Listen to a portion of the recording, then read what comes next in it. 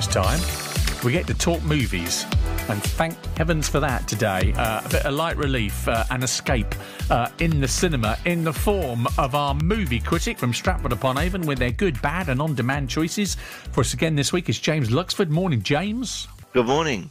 Thanks for coming on uh, this morning. Uh, this first film you picked, kind of timely, isn't it? With uh, the Queen's Platinum Jubilee uh, just around the corner.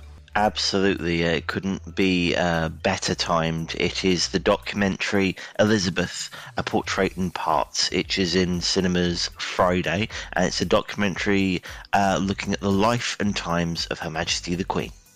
It's a question maturing into something that one's got used to doing. And accepting the fact that here you are and, and it's your fate. God save the Queen. Is it any good?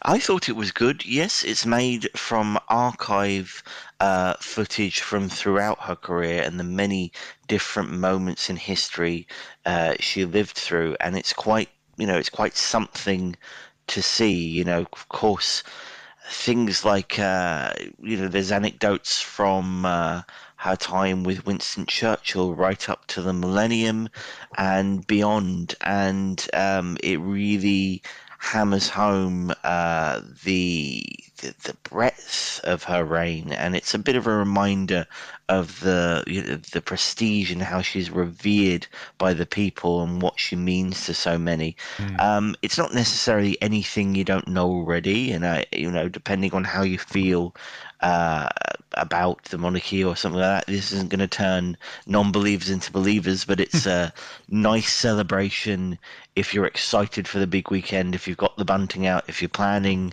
a, uh, a street party, uh, this is a good starter, I think. Good. And where can we see this, James? It'll be in cinemas from Friday. Okay, good to know. Uh, it is Elizabeth, a portrait in parts, and that documentary, uh, James is good selection this week. So if that's the good, uh, what's the bad? Uh, my bad is Firestarter in cinemas now, which is nothing to do with the band Prodigy. Uh, it's a new adaptation of the Stephen King novel about a girl with special abilities being sought out by the government. Do you know what it means to be on the run? Bad men are after us. Really bad. I hate living like this! You're special, Charlie. I'm not special. I'm a monster! Charlie! I want to help her. You want to use her? She's the first of her kind. A real life superhero.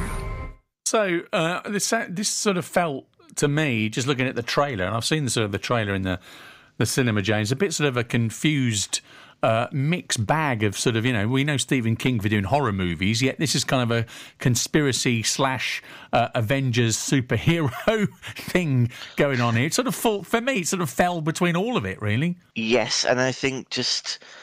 Uh, as you said, they're a poorly adapted film that's a bit confused about its inspiration. Uh, the plot from the book has been cut down to the point where it's a little bit incoherent, to be honest. The acting is very stiff, despite the presence of a big star in uh, Zac Efron, who you just heard there, uh, and the special effects are a bit well cheap looking, which I think is unforgivable uh, for a big budget movie um, or really of any budget movie, to be honest. I think even lower budget films now have uh, fairly convincing special effects. Um, there was a previous film about this in, I believe, the 80s, starring a young Drew Barrymore, which isn't very well remembered, but uh, this somehow manages to be worse. Definitely one to avoid for me. Okay. Uh, that's the bad uh, for this week. Uh, let's move on to your on demand uh, suggestion. My on demand is Coco on iPlayer Now, the Disney Pixar family film about a boy whose love of music leads him to accidentally enter the land of the dead. I am not like the rest of my family. There's something that makes me different. Great great grandfather, I want to be a musician just like you. All right, who's in there? I'm sorry. Welcome to the land of your ancestors. Miguel? We're your family. You're skeletons. You're alive. They've got uh, hard act to follow, haven't they? Pixar's been known for so many great animations for, uh, uh, bre- you know, bre- breaching the divide between kids and adults. So they managed to do that with this.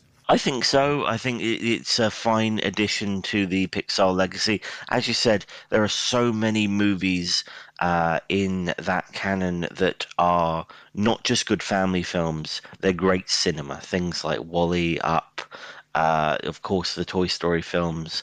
Um, I, I don't know if you can add this to that. It's, you know, I think it's something you only really uh, can say with time if it stands the test of time. But this is just a very sweet film about family. Uh, the first Pixar film from Latin America.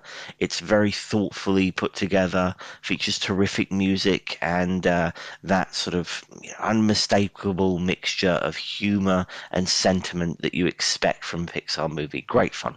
Good stuff. James, uh, always good to hear from you. And uh, next week uh, with the Jubilee in mind. I'm sure there'll be lots more to talk about then. So uh, enjoy the weekend and thanks very much for uh, for coming on this morning as ever. Thank you. James Luxford uh, from Stratford upon Avon uh, with their good, bad, and on demand choices. Our movie critic with us every Thursday morning on BBC CWR. Those overrunning road.